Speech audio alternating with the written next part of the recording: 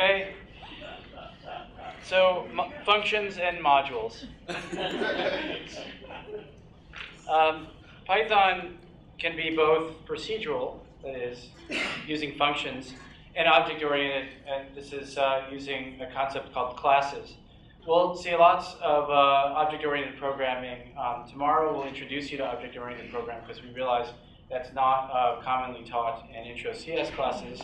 Um, uh, but what we're going to talk about today mostly is functions, which in some sense is uh, sort of um, more, more base, right? You can use Python with uh, sort of an object-oriented uh, paradigm, but um, it's pretty hard not to use it in a procedural way. Um, okay, so what do functions look like? Well, they have this thing def in front of it, which is essentially the defining of that function. You have a function name, and then you have arguments, and there can be as many or as little arguments as you like. And then there's keywords. It's a little bit like our dictionary where we had a keyword value, keyword value, keyword value. And likewise, there can be an arbitrarily large number of these um, keyword values and arbitrarily large number of these args. Um, when you have uh, an arg that's declared inside of the definition of this function, um, it is required. That is, if I say that I need x and y, if somebody calls this function and they only pass to me one variable or one number, uh, there'll be an error, and um, you'll uh, have to deal with that. Uh, keywords are uh, considered optional. And when you say keyword uh, equals uh, value in the declaration of this function, you're more or less giving it a default. So that if you don't wind up um, giving a keyword of something when you're actually calling this function, uh, that default will be populated and then you can use it.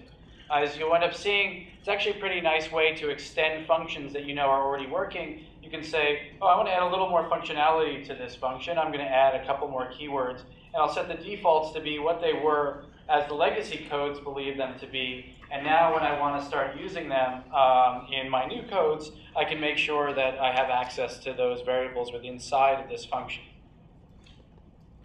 So the good thing is you can name your function anything uh, you want, um, but it uh, can't start with a number.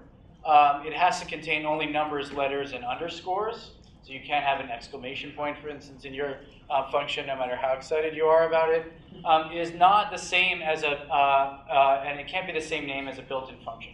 That's not exactly true. You could actually rewrite a built-in function, but it'd be pretty silly to sort of rewrite something that you know is going to wind up being um, used by other built-ins. Again, when you start thinking about writing something beyond the sort of few lines of code, where you and others and people in your research group may be using it many times, you want to make sure that you're not doing anything um, that outside of the scope, as it's called, of your function.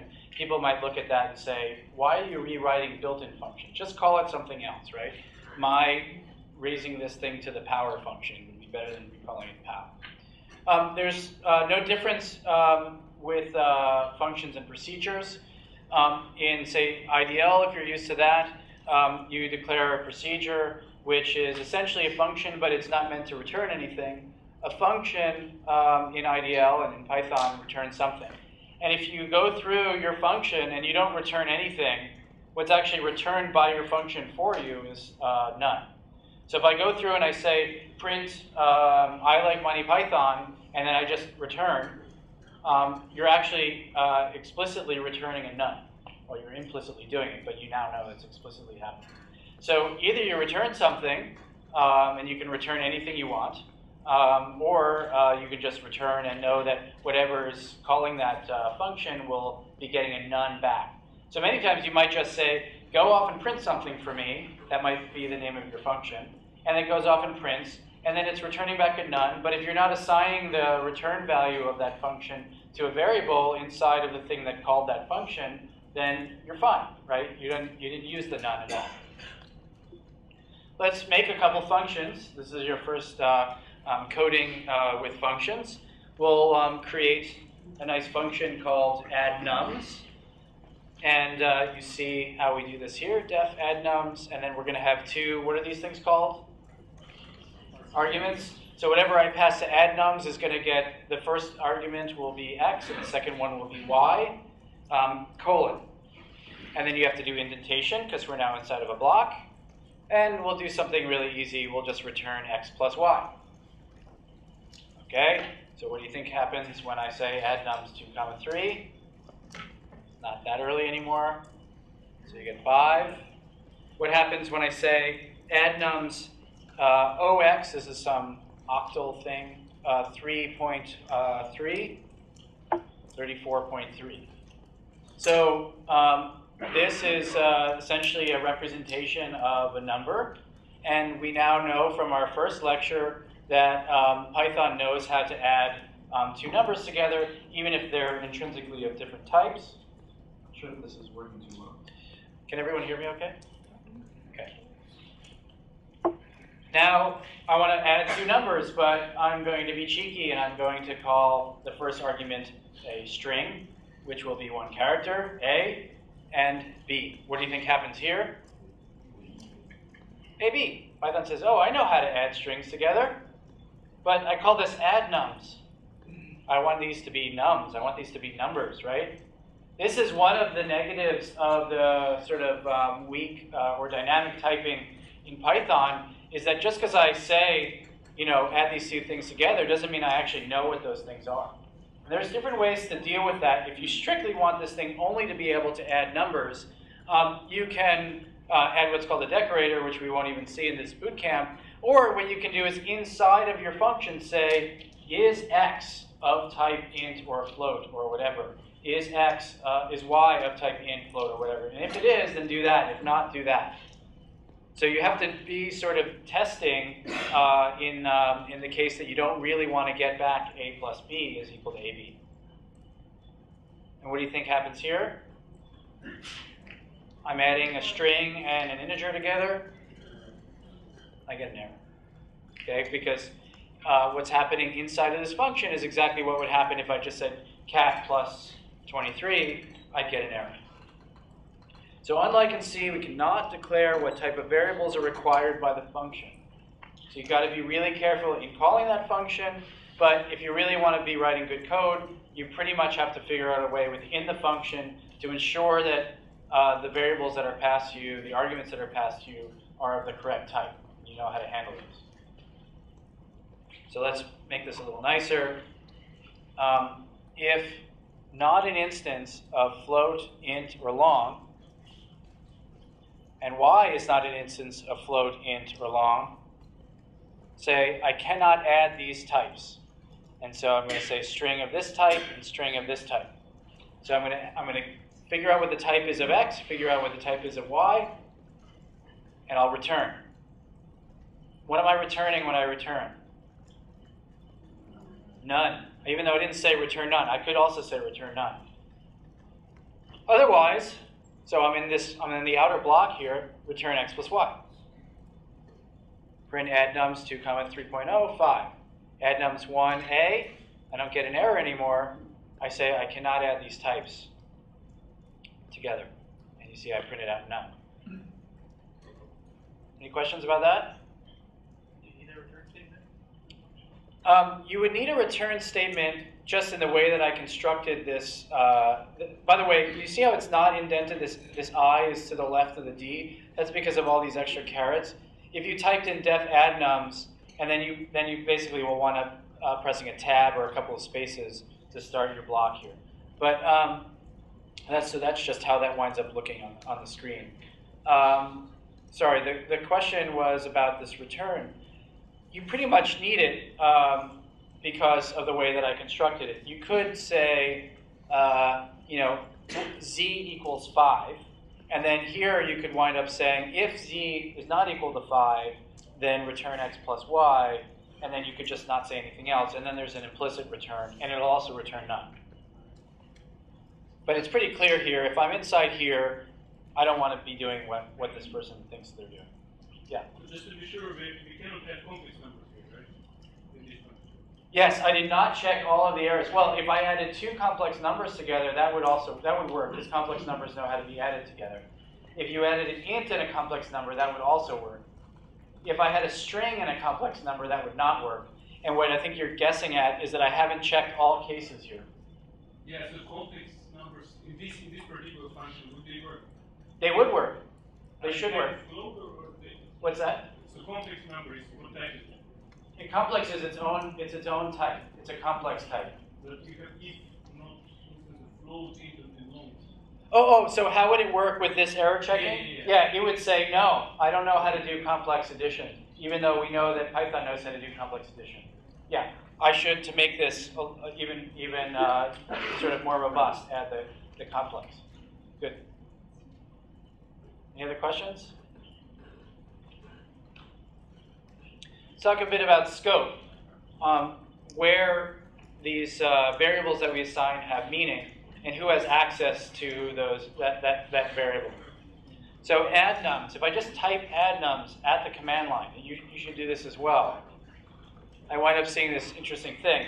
Um, essentially a string representation of what add nums is. Add nums is a function. If you type type add nums, you would get, it would say that it's a function, right? I think it would say a user build function. Here, it's actually telling us where the memory address is that starts off where this function actually lives. You don't generally have to care about that. It's useful if you need to see whether two functions are actually the same thing, because you could have two variables pointing to the same function that lives in memory, and they could essentially be identical even though they have different names. Type add num function. Yes? So I'm getting, when instead of getting function address at the location, I'm getting function underscore main underscore dot address. So that may be how it looks in IPython. IPython may be wrapping around it. If you do this within Python, you should see something more like that. x equals 2. Again, most of these things that you would do here are when you're working at the interpreter level. When you're actually building a script that would run, um, Python, IPython will basically be implementing that script in exactly the same way.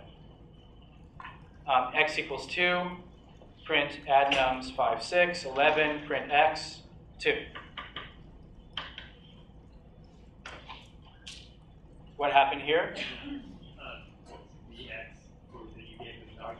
good within that. That's right. So this is a first example of uh, scope. This variable x only has meaning in my current, as it's called, namespace, as I'm running this from um, the interpreter. But x has a different meaning inside of that function. So I can do whatever I want to inside of that function, and I'm not going to wind up interacting with um, what I call x in my sort of main function. So Python has its own local variables list, and x is not modified globally.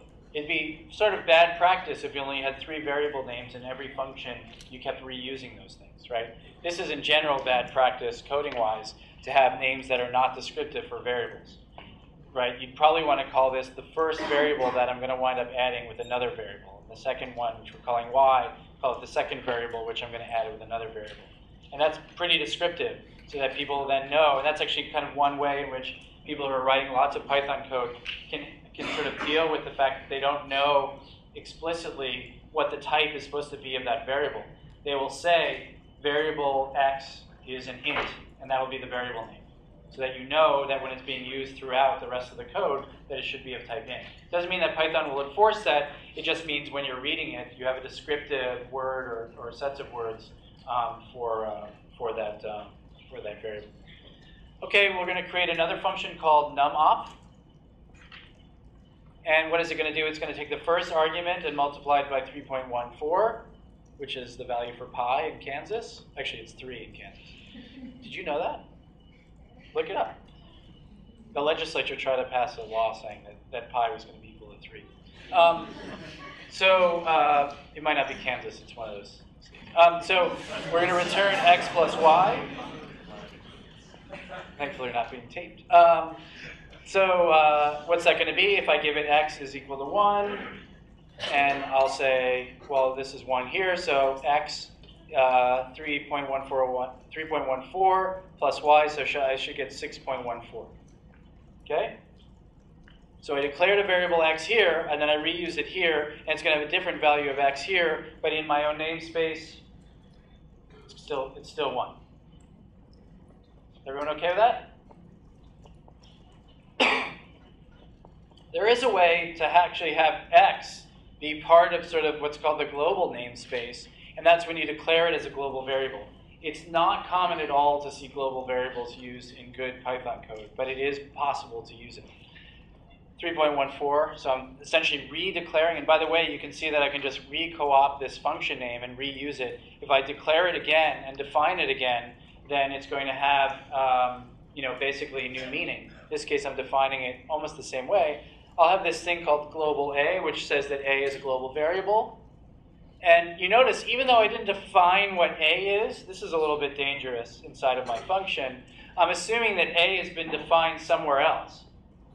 And I'm going to add 1 to that, and then I'm going to return a tuple, which will be x plus y, and then comma A. So it'll be a two-element tuple that I'm returning.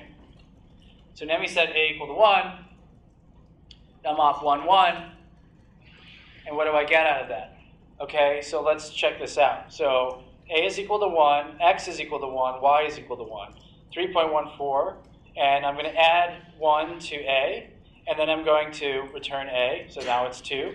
And now I've got uh, what I had before of 3.14, and I'm adding Y is now 1, so I should get back 4.14. What if I run it again?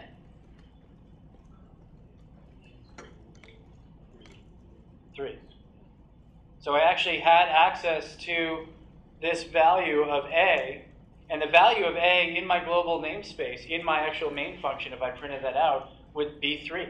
Sorry, would be 2 when I come out of this first time, but inside of this I'm changing it and making it 3.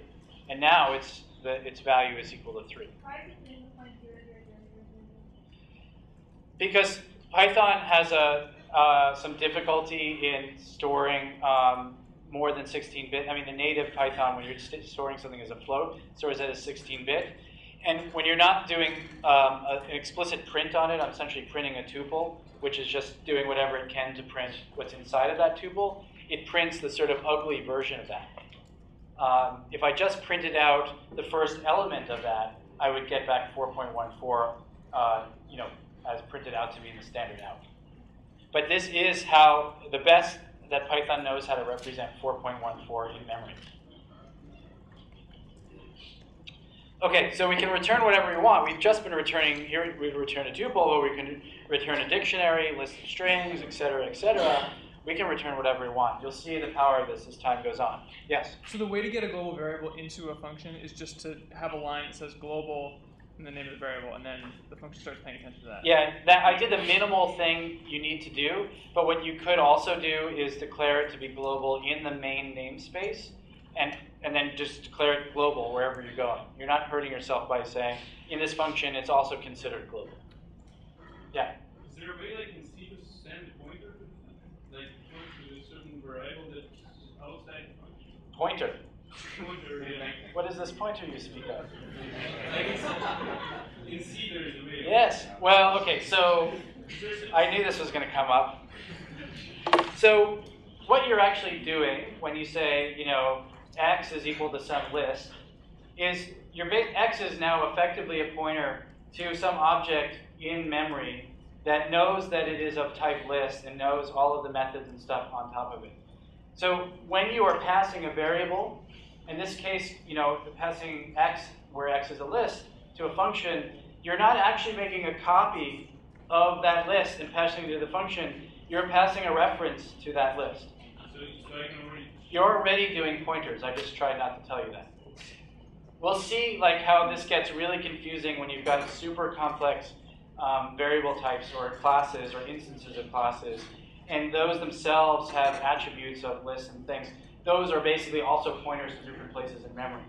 Um, it, it'll start helping to know about the concept of pointers, but for now, it's not that important. Other to say that when I when I actually call a function with some complex variable, I'm not actually passing off um, the, uh, I'm not actually passing off a um, new version of it.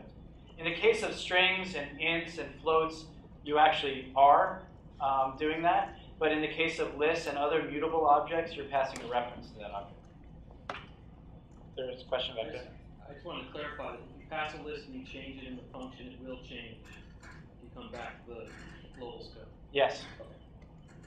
We'll get it. We'll see more of that later on. Yeah.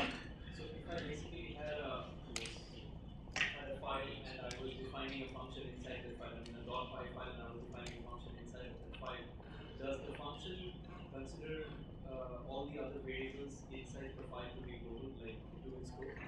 uh, or Yeah, so we'll see, we'll see exactly that over the next several slides, but the answer is yes.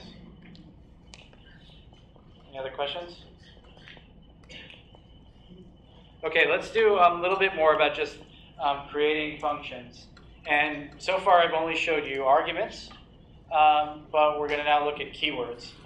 So here I've got two keywords. I have my two arguments, x and y. I've got two, uh, two uh, keywords, optional, um, optional uh, um, arguments essentially to uh, this function. Multiplier is 1.0. Greeting is thank you for your inquiry. Let's see how we're going to use that. If greetings is not none, so basically, if I said greetings equal none, so if it's got something, just print the greeting. Uh, and return x plus y times the multiplier. You notice I've done no error checking here, right? It's probably okay to print greetings whatever it is. But the multiplier, what if multiplier was spam? That wouldn't make sense at all, right?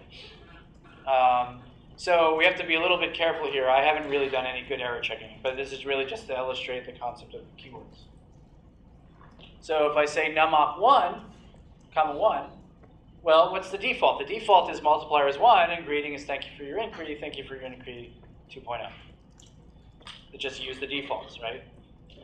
But now if I want to get a little fancy and I want to have my multiplier be minus 0.5, I'm going to multiply minus 0.5 times 1 plus 1, and so I'm going to get something like minus 1. I'll set the greeting to none, and I just get minus 1. I got no greetings. Yes? What's returning a float Uh, why is it returning a float? Because I've given it two integers. Anyone want to help me out? Yeah, it's a multiplier. The multiplier is itself 1.0. If the multiplier was 1, then it would be multiplying by uh, another int, and I'd get back an int. Unless one of the two arguments was a float. Yeah? you have to say multiplier equals negative point five, or can you just say like third space is automatically multiplier? So yeah, it's a good question. You could give, you, you could remove the multiplier equals and you could remove the greetings, and then Python would say, okay, I know the order in which you want to do this, but uh, it's pretty bad coding practice to do that. If it's a keyword, you should say the keyword equals this, because it may be that you've got 30 keywords and you only want to change some of them, and it may be that for whatever reason you want to make sure that as you're reading the code that the most volatile keyword is the one that people are reading when they first see it. So you can put the keywords in any order you want. I guess that's something to, to make note of. So I could only give a greetings keyword, or I could only give a multiplier keyword. I could give greetings before the multiplier, and that would be valid. Yes? Can you uh, specify keywords um, shortened to such you say m equals? Um, the question is, can you do it uh, shortened to uniqueness? I believe you cannot. Um, somebody can correct me if I'm wrong. Paul? What was the question, sorry? Um, if we just said uh, m equals 0.5, would this function say, I think this function would say, I don't know what m is, right? Yeah, it doesn't have Yeah. that keyword. I think If that, you just said point 0.5, though, it would. Yeah. it would yeah. Any other questions? Yeah. Um, so you define multiplier and greetings in the original um, first line, then you later changed it. Um, So the, the way to think about these are that, you know, in some sense, this is sort of like a dictionary. I've got key, value, key, value. And the way to think about these when I actually define the function is that this is sort of the default value for those keys. So I can use multiplier and greetings throughout the rest of my function as if I had defined them outside of that function. Or this is what I think the standard everyone's really going to want to use, right? So you think of this in terms of how other people are going to wind up using your code or what the default is. And it's only when you want to change things to see default, you know, how the default behaviors um, get changed would you do that. Yeah. Uh, I did hear the answer. I hear somebody ask, oh, find out very friendly, change thank you to thanks. That, Oh, where did I do that? I don't know. Uh, Oh, no, that was that's that's a typo. I must have had two versions of this. Python is not that smart. Very good catch. Wow, amazing. We've probably done. Well, we've done this boot camp twice before. I think it's always been there. No one's ever said. So you're awake, and you get you get a special sticker at the end. Kansas too.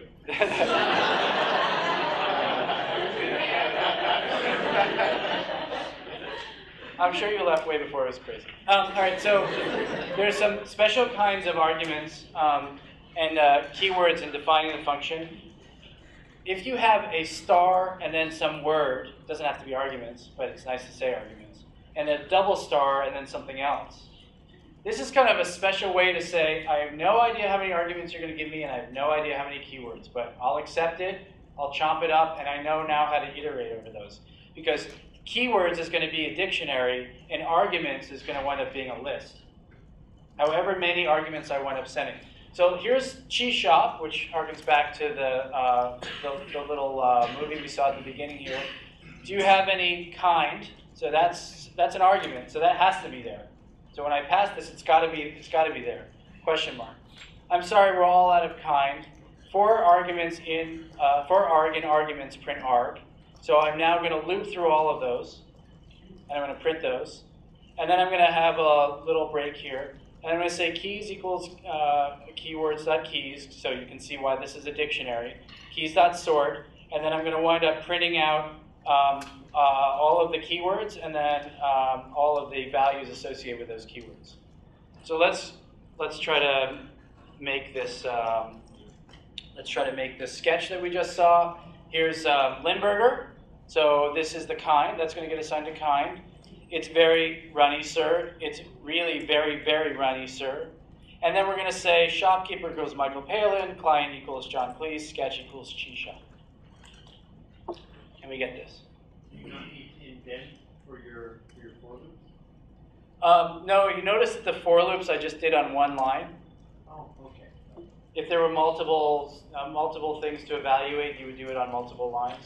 Um, it's actually pretty good coding practice to have it on separate lines. I just did this just for making it compact on the screen, and it's it's not actually illegal. Are there other types you can use if you want three different things for it to do? Can you use like arguments, keywords, and then something else? No, this is about as much as you could do. You could name a couple other keywords that you want to capture explicitly.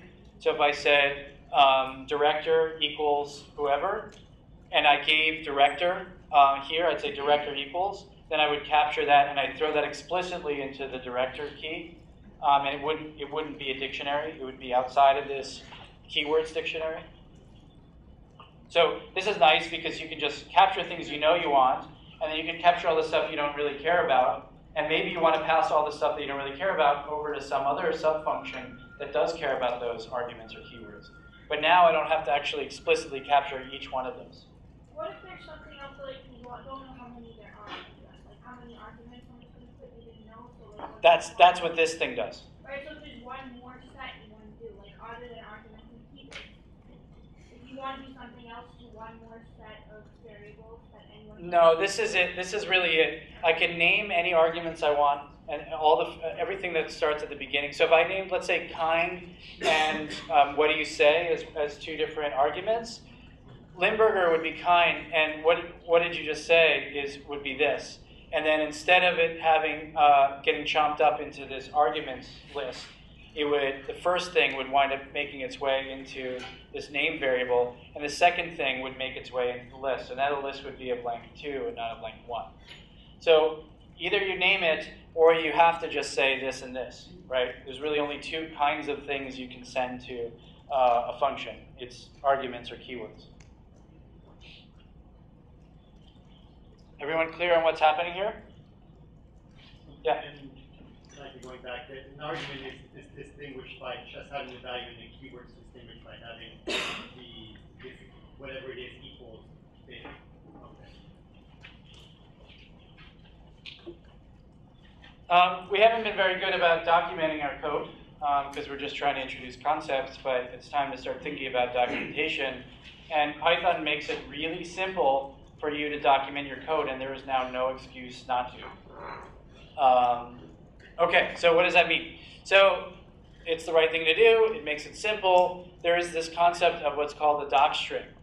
The doc string is the first unassigned string in a function, class, method, program, or whatever. If I'm, if I'm looking inside of a function, it says def this, and then I go on down and I see this string that isn't assigned to anything, that's what's called the doc string. In this case, because we're going to write a nice descriptive statement about what this thing actually does, I'm just going to create a double, a, a triple quote here, and this should be indented, by the way, because it's inside of this def. I don't know why it didn't come out that way. Um, uh, numop, this does a simple operation, two numbers, we expect x and y are numbers and return blah, blah, blah. Multiplier is also a number, it defaults to one. You can specify a small greeting as a string. So then we'll just do this thing that we had before. So that's numop one. Um, and I think it's in the tarball that I gave you. Yes? Does the doc string have to be three double quotes? It does, it does not. I usually use three double quotes just to also remind myself I'm doing something sort of special here. But if it was a single quote um, or, uh, or basically a single double quote, if it's unassigned, so if I said A equals this, that would not be considered a doc string. But, but are three single quotes also a doc Three single quotes would also be fine for a doc string. Um, so if you do this, um, and you make a little doc string in a function, and by, by the way, I think I have this in a Python file called num, uh, numop1.py, and it's in the tarball that you can get from the website. Um, you'll wind up seeing, um, after we, I'll show you how to import that, we'll wind up seeing how to uh, interface with it. So if I just type um, help numop1, after I've declared it, I wind up seeing this really nice doc string. So now when you type help something, you say, okay, what is, uh, what is POW? What is STR? What is anything that's built in? If you just say help and then parentheses around it, you'll wind up getting its doc string. It automatically thinks the purpose is the first, and you write nothing into the second line. So, yeah, yeah. So, so if we go back and we look at what that function actually is, you just declare it like normal, and you can have a doc string or you don't have to have a doc string. Um, when it goes through and you do that help, it goes through the actual code and it says where's the first, you know, double quote or triple quote, and what's unassigned. Okay, that's the doc string. You can put whatever you want in there. No, I think, sorry, I think the clarification uh, is that it kind of took your doc string and then segregated into an input part, output part for purpose. And is that automated through Python, or is that something? Oh no no no. So I might have written I, again. This might have been like I had two versions of this. No. Okay. This is it's another good catch. It didn't figure that out. I actually wrote a ve- better version of the doc string before I made the next slide. I'm sorry about that. Good catch. Yes. Okay. Very good catch. Thank you. Um, what's really nice is that you can create a um, sort of web, uh, nice web-looking version of that doc string. And you can do this from the command line. Since you all have the um, Enthought distribution, this should just work. If you type pydoc minus w numop uh, 1, and by the way, the name of the file is numop1.py in, your, in the directory, in that tarball that I gave you. Um, try to give that a shot. Yeah.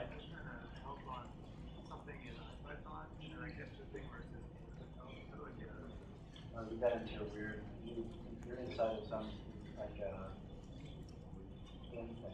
Oh, what's that? You're inside of a game. No, it's just Just do a key. Like, Oh,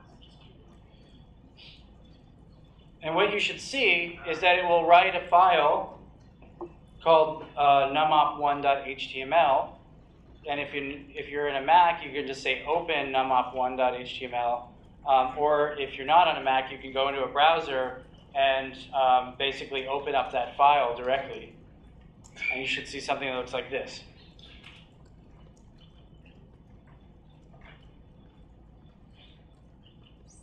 So numop1, um, this is the doc string for the entire file. We'll take a look at that in a second. Um, and there are functions within uh, that file. And here you see it's sort of nicely formatted what the input and outputs are. And here's my doc string.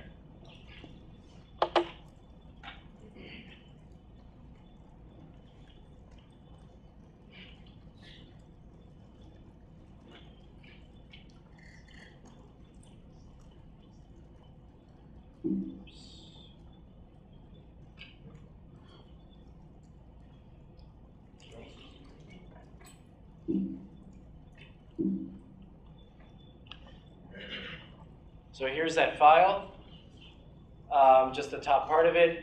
See, I had a doc string up here, and then I had a doc string inside of the function. And that's it.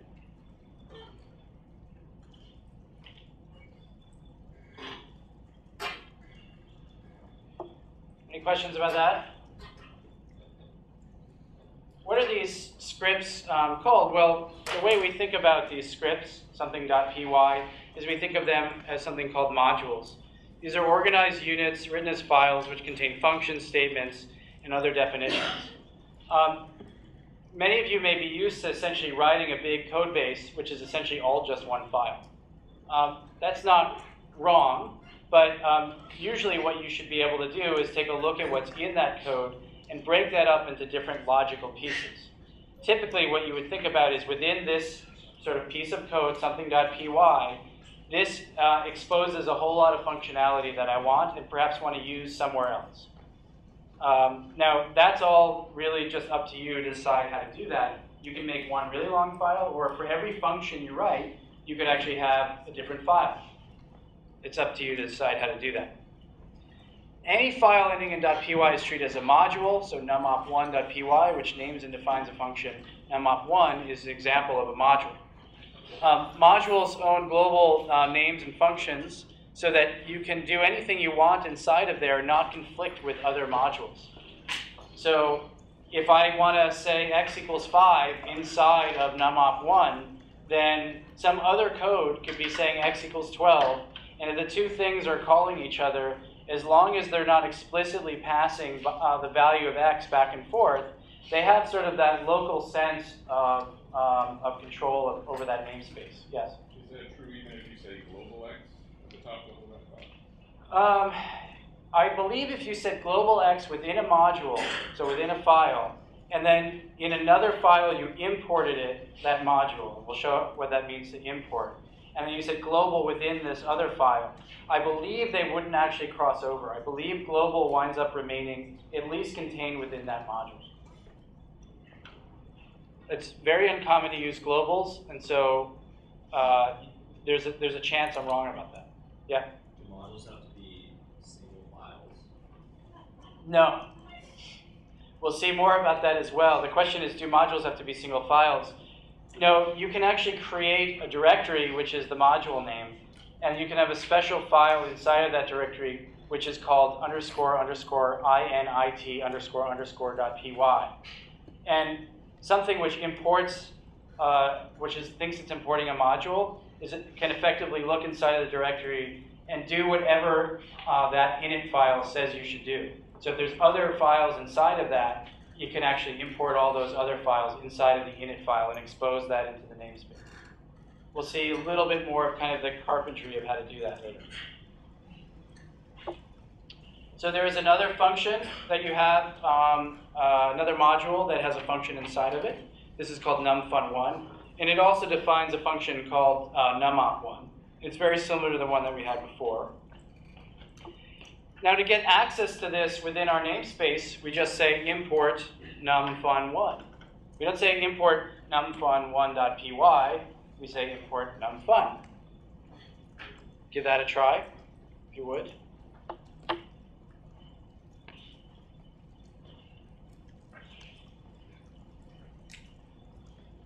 Now, when I want to use functions that are defined within that module, I have to access those functions. And to do that is I have to start off with the name of that module, dot, a function that got created within that module, and then I can do whatever I want with that.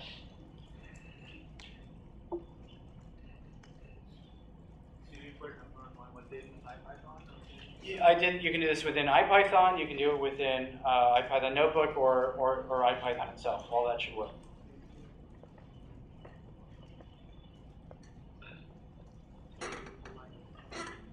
Doesn't work. Can somebody? What happens if I say numop1? Numop1 is not defined in my namespace. I have to go into what's called the namespace or the scope of uh, this module, numfun1. Right? So I can't get access to things that are inside of this module unless I explicitly ask for it. And this dot thing here allows us to go into this module numfun1 and get access to how it defined this thing called uh, numop1. Let's um, play a little bit with scope because it's important to understand how this works. There's another file in that directory called numfun2. Um, and here's my little tiny doc string up here, small demo of modules. I've got a little doc string over here as well. Um, and it's basically doing the stuff we had done before. And I'm going to say numfun2 is in the house. That's a print statement, and it happens at the top level of this module. x is equal to 2, s is equal to span with two m's. Import numfun2, what do you think is going to happen? This script is going to execute, and Python's going to go, what should I do? Doc string, blah, print. Oh, I'm going to print numfun2 is in the house. I'm going to set equal, x equal to 2, s equal to span. I'm going to create this new function. Numfun2 in the house. What if I say import numfun2 again? Well, if Python already knows about something in its namespace and you say import again, it's going to say, no, no, no, don't worry, I already know about this. And it won't print it again. It won't actually execute it. Yes? So if I want to basically make an edit on non one and then re-import it back, what do I I'll show you how to do that. Print numfun2.x, numfun2.s. These are effectively variables that are associated with this module numfun2 that live in the namespace of numfun2. Well, we set those up there, x equals 2, s equals spam, Right? Now, let me just say right here in the interpreter s equals eggs, print s, and then we print uh, numop2.s. Eggs and span.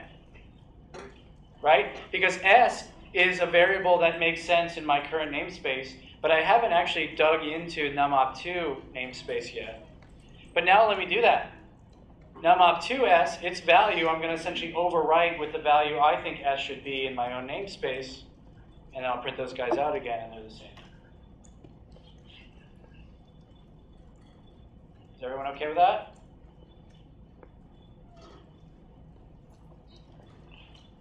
Okay, so I'll quit out of that. Um, so that's a little bit cumbersome. Like I want to use some function inside of some module. What if it's a function that I want to use all the time, and I want to have to say module name dot the name of that function? Well, you can explicitly bring it into your current namespace, and the way you do that is you say from module name import function name. From module name import variable. So I could just say import uh, the variable s. Now s is in my current namespace. From module name import variable function name function name blah blah blah right. So from module from numfun2 import x and numop1. All right, so good. I've got my this is my function. I've got x. I just executed for the first time. You notice in the previous slide I quit out of Python and now I've gotten back into Python just so I don't pollute namespaces. Is x equal to 2?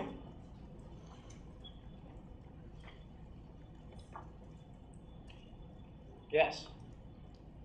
Because I actually explicitly pulled the x as it was declared in this module numfun2. I pulled it into my namespace, so now it has meaning in my own current namespace.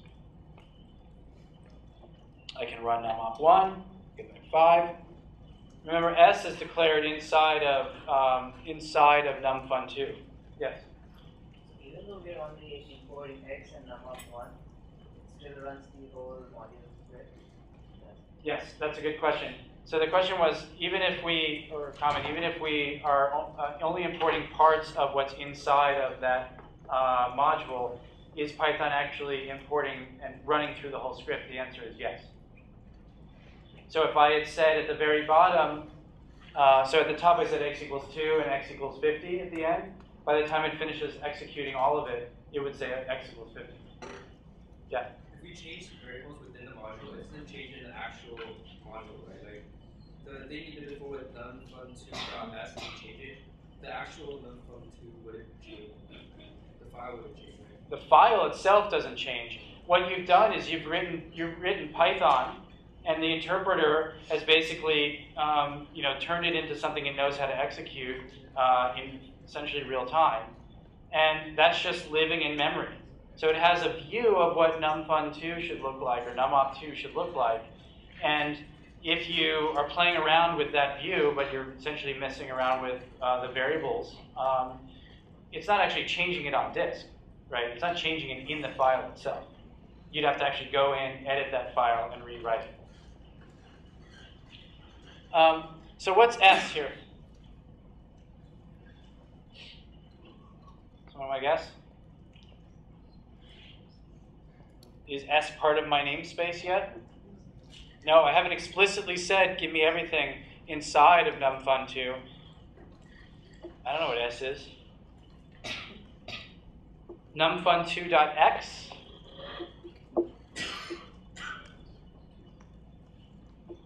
I don't know what numfun2 is. How come I don't know what numfun2 is? Right, I did a from. I did not import numfun2. I went into numfun2 and I imported just the things that I wanted.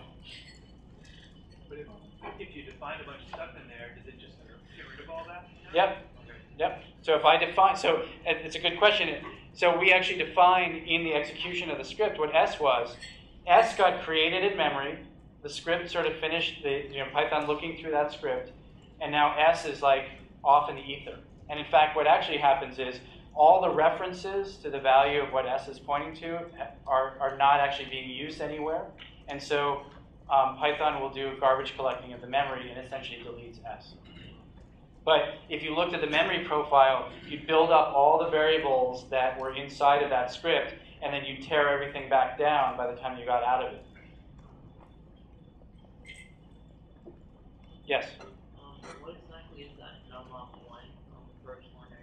Num1 is the function that we define inside of the module num1.2. Let's say we've got uh, a function inside there which is called you know, SpongeBob SquarePants, and we want to rename it to something like take the square root of something, right? Um, let's say I don't like the name as it is named within that function.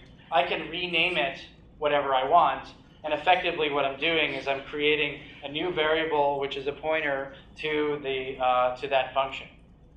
And it has some other name, it has some memory location, but I want to use it however I want. So from NumFun, uh, NumFun2, import S as my favorite food. From NumFun2, import NumOp1 as wicked awesome adder, because I didn't like the name. I can print my favorite food, I get spam, wicked awesome adder, I get the value I expect. Yeah? So if you're doing these on multiple different lines and going to the same module, is it executing the whole module file each time? No. So when I say import um, module name, let's just start off with that. It's effectively going into that file, executing everything. And you know, if there's something like print or set x, x equal to this, it's just doing it in, in memory, right? And then if I'm creating a function, I'm creating a function which will wind up living in memory, and then it's done. So if I keep on saying import, import, import, it's like, no, no, no, I know about that already, I know about that already, I know about As soon as you say, I don't know about that, it will then go back and it will try to, it'll actually have to reread that script to import it.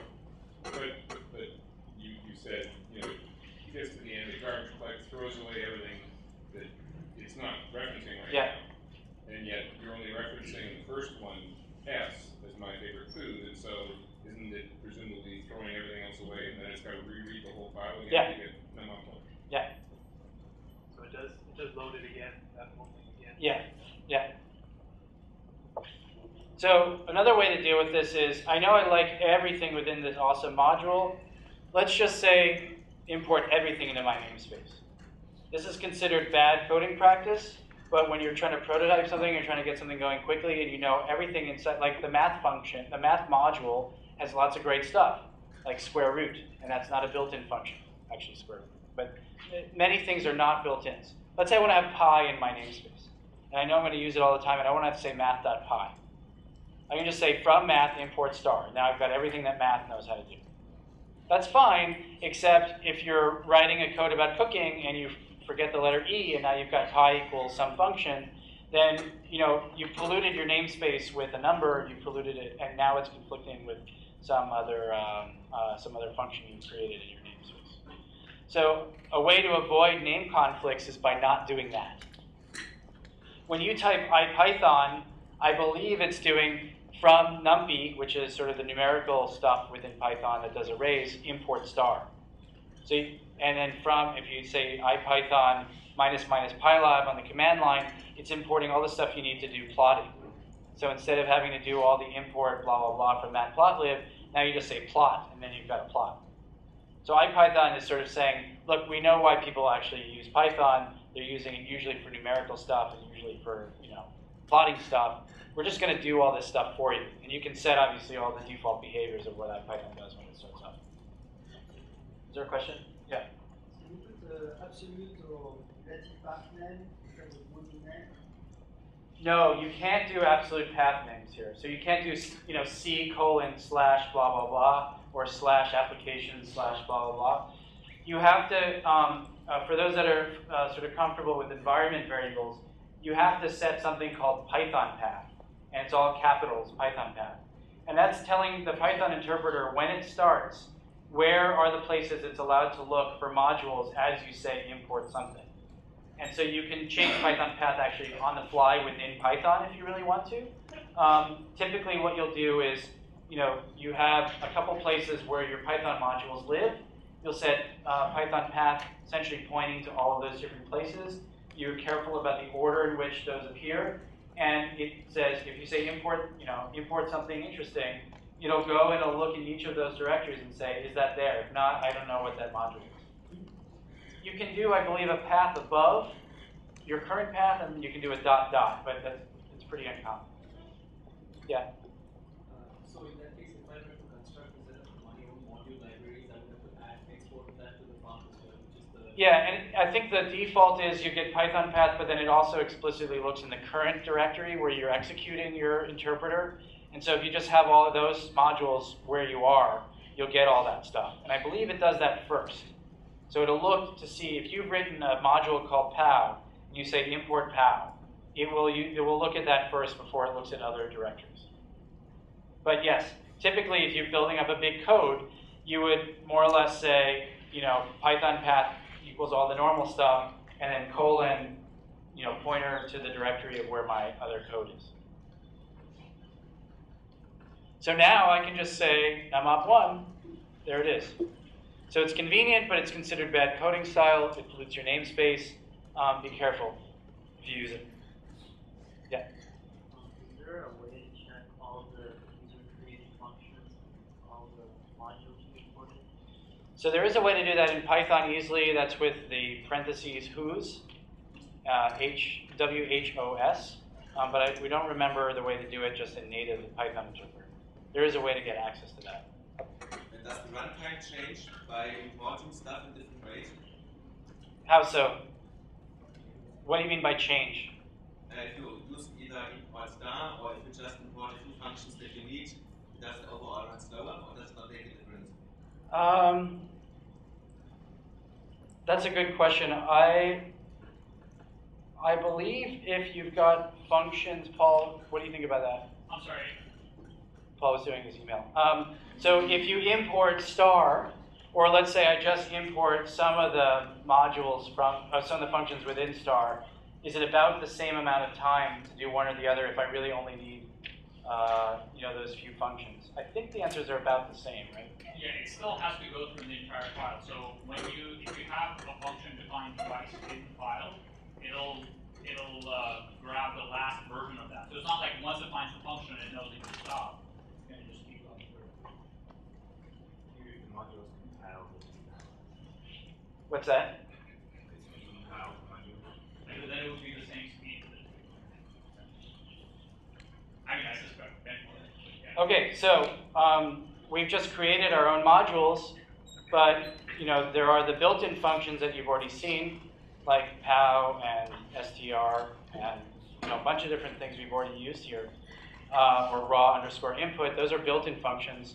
But if you want to get access to sort of the next level of capability outside of the, uh, the, the built-in library, you're going to want to use other modules. And Python comes with lots and lots of modules. One is called sys, which exposes interpreter stuff um, like file I/O and environmental things.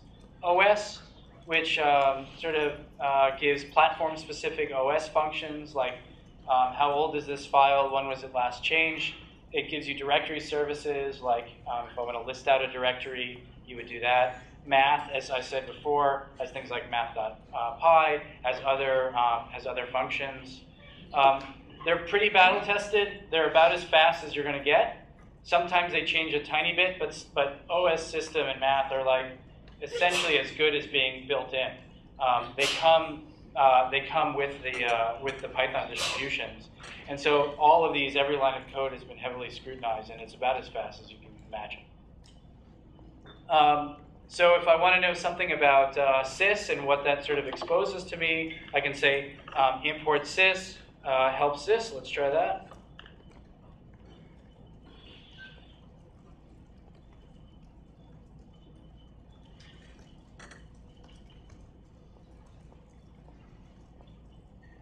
So I can see all the things that sys knows how to do. The other Python way of doing that, IPython way, is sys.tab. So I can see all the things that I can do within, uh, within sys. I don't know what get trace is. I can ask a question of that. I can look at its doc string. Oh, it returns a global debug tracing function. That is. sys.version. That's kind of useful to have. It's a string representation of the Python that I'm using. Um, anyway, so you'll wind up sort of exploring all these different capabilities um, over the coming days. I want to just show you some of the ones that we uh, think you'll probably wind up using a lot. There's another file in your tarball called getinfo.py. You notice I'll say import OS, import sys. I haven't said what I want from in there, but I basically said just go in, um, get it all in a memory. I'll tell you what I want later on. Get info, so I'll give it uh, optional, what is this thing called, this path? Keyword. And what's the default? Dot, right? That's the Unix way of saying the current directory. I've made a nice little doc string. You are using Python version, comma, so that's saying don't actually uh, don't actually add um, unnaturally a new line sys.version, we just saw what that was. Um, add a little break here. Files in the directory. So ospath.abspath. You notice here that abspath is basically a, um, a, a, function that lives within a submodule of the module OS. And you just had to know that to get an absolute path, this is how you get it. Right? This is one of the problems with Python is it's not like you just express yourself. I'd love to have something that gives me the absolute path of what dot is, and it just appears. Effectively, you can ask Google that exact question, and you'll probably get that back. But this is one of the problems, uh, in some sense, with the rich syntax of Python, is knowing kind of where to get at uh, the types of functionality that you think that you need. But anyway, ospath.abspath, and you give it the path. For x, uh, sorry, for f, um, in OS listdir, that's a new uh, function that we haven't told you about yet, of the path printf. What do you think this is doing? What do you think listdir does? It lists all the files in the directory. OS listdir returns a, a dictionary of all the file names in the, special, in the specified directory. Um, I'm not sure if it's dictionary. Yeah, maybe it's dictionary. Sys.version, uh, string representation of, the, of Python. I don't think you need these things here. I don't think it's actually a function. I think it's just a variable. Um, so check that out. Make sure I'm not wrong about that, but I think I should get rid of that. OS path, abs path, translation of a given path name to an absolute path. Um, we can try that out if you want, but one of the things I wanted to say is that uh, there are dozens and dozens of these built-in modules, and you'll say, I really want to be able to email somebody. I wonder if there's an email module. Yeah, I mean, it's sort of like predates that, yeah, there's an app for that. There is essentially a module for everything that you want to do. Almost, I mean, not doing like hardcore science or whatever, but to do something, to do some part of the workflow that you have a guess that probably somebody else in the world has had to do at some point, there is very likely a Python module that does that. So don't just go off and like start writing things like how to send emails, because there's like 12 different ways to do that. Okay? That's a little warning. Some of you have seen this XKCD article. Uh, maybe you now understand it a little bit. How are you flying? And this guy says, Python. I learned it last night. Everything's so simple. Hello world is just print hello world. I don't know, dynamic typing, white space, really? Come join us. Programming is fun again. A whole new world up here. But how are you flying? I just typed import anti-gravity. That's it? I also sampled everything in the medicine cabinet for comparison. Um, but I think it's a Python. Uh, this is funny, but it's actually pretty true. Um, it is a little crazy, and people who don't like Python will say there's a module for everything because it means that you really have to know what's out there. Um, but you know, import email, right? Or import web browser. I mean, there's just stuff that you'd want to do is very accessible to you now in Python. And things that aren't in the sort of um, Python package itself likely comes in third-party packages. And you'll just see more and more of that as time goes on. Okay, so how do we make our script um, executable? Uh, when a script module is run from the command line, a special variable called underscore underscore name underscore underscore is set to main. So what you will typically see at the very bottom of many um, uh, .py files is what looks as sort of like a C main function, where you say if name is equal to equal to main, this will only get executed inside if I'm run from the command line. So if I import a module from some other module or from the command line, um, inside of the namespace of that module, its value of underscore underscore name is not that, it's something else. It's actually the name of the module. If I import it directly from the top level interpreter, or as I execute it as a script, it, that name will have that variable uh, of string, right? And so that part will get executed. This is how you effectively say, if I'm running this thing from the command line, run all this stuff inside. If not, just basically expose all the things that this function knows how to do. So to make it truly executable, on the first line, you'll typically do a um, hash uh, sign, an exclamation point, and slash user slash bin slash env python, which just runs this, uh, which runs this executable called env, which says, where is Python? Sometimes you'll just have bin env, and you have to make sure that it works on your architecture. Yes? So a hash with an exclamation mark is no longer a comment. Yes, it's a special thing, and, it, and I believe it only is allowed to be on the first line. There may be, you maybe are allowed to have special encoding statements on the first line. But typically, this is the first line you see, which says, hey, this module is actually callable from the command line. It has some real functionality. Right? The module is called email everybody in my group, and you know, um, basically it's got a it's got a name underscore main, and it sets the whole list of all the people in your group and their current emails. And then above that is some function which says email a list, and you pass that. That's what it does. But email a list could be useful in other in other in other sort of domains as well. Yeah. Um, so this is a dot .py file, right? Yes. Not dot .ch or .sh. uh, script file. No, this is a .py file. You can call it, I mean, you can call it anything you want, but you're being pretty mean if you say .ch at the end of it or sh at the end, and it's actually Python. Yeah. It's just a Python script. I was confused about that too. Yeah, we can start with a hash exclamation mark.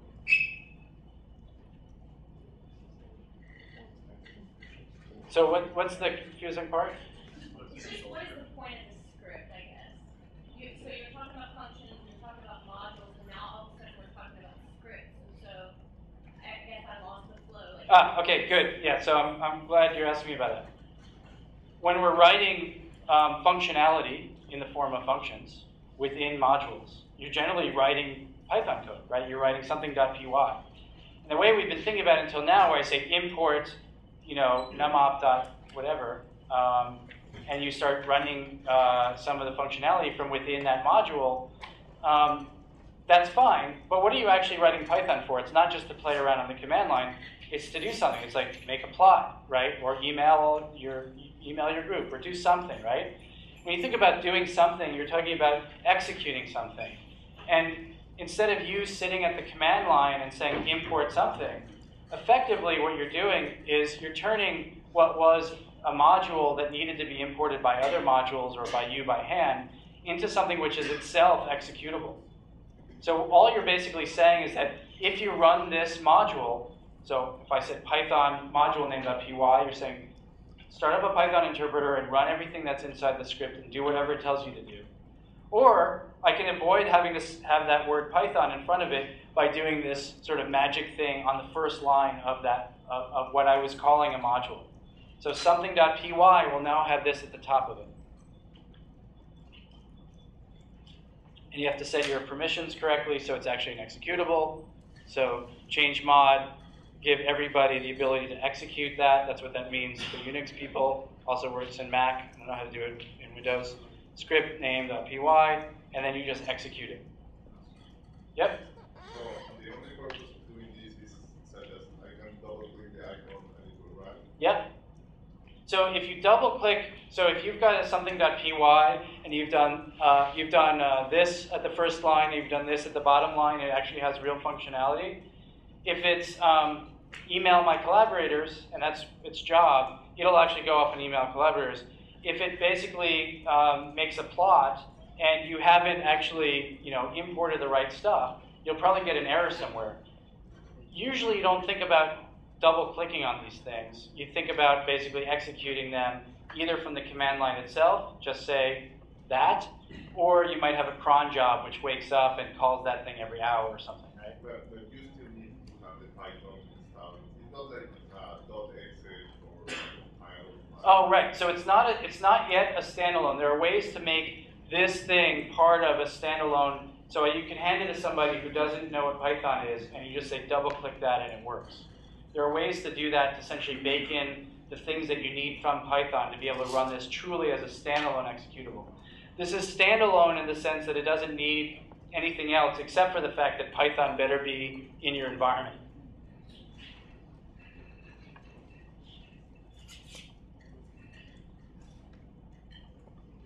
Okay, so here's a, a bit more of a, uh, a, a, module that can also be executed from the command line.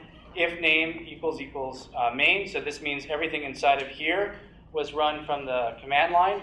This is all the stuff that I had before. Remember the get info, right? That was just a, uh, that was just a function that was exposed to me um, when I wind up importing this.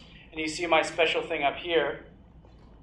Um, this is all the stuff that only gets executed if name is main, if I actually run it directly uh, from the command line, or if I, um, uh, if I type run and the name of this from within IPython. So I'm going to look at the uh, something new here. This is a variable called sys.argv. Those that are familiar with C know about this. It's an argument vector that basically says um, what are the different arguments that were given at the command line. Um, if it's equal to 1, um, basically, if I only gave the name of it itself, then I'm going to set the path equal to the current one, and I'm going to show the version of the, of the code. Otherwise, I'm going to look at um, uh, all the directories that were passed to it, and I'm basically going to ask, is that actually a directory? If it is, then I'll get info for that directory. If not, I won't do anything. So let me run that, and now I just say dot slash modfun.py. And I didn't give any arguments, so there's only one value of um, the sysargv, which is this whole thing right here. It, will it'll appear as a string. And now I print out the version number, and I look at all the things that are inside of that directory. If I give it a bunch of other directories, here this is the current directory, some temporary bad name directory, and some actual temp directory.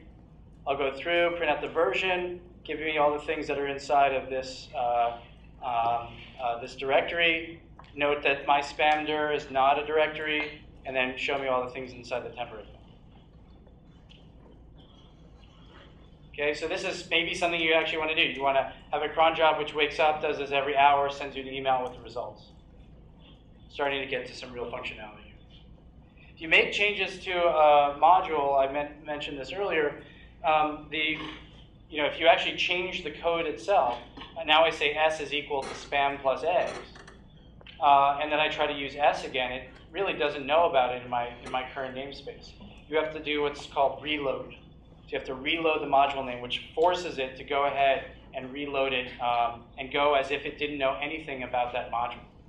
So import OS, os.system, that's a new thing. That's basically making a call out to the system. Here I'm just printing out um, two different uh, files.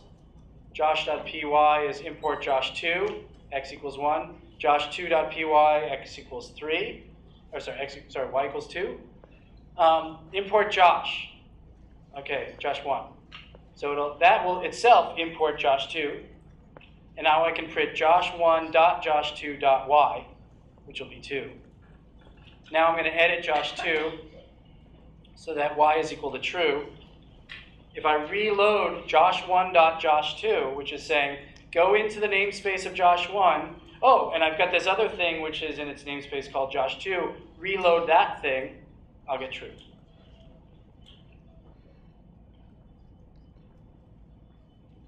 Reload, you're going to wind up using a lot.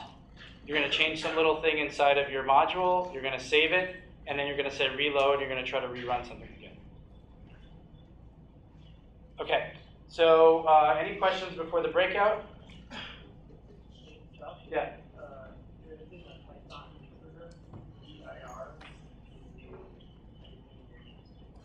Okay, did everyone hear that?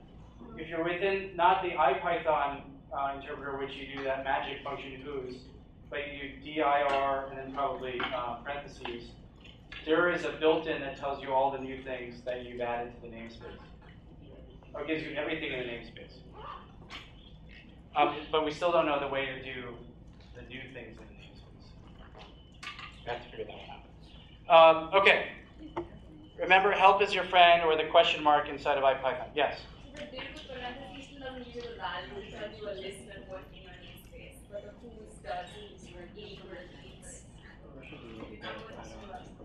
We're going to try to figure out a way to do it just within Python. um, okay, here's your breakout session.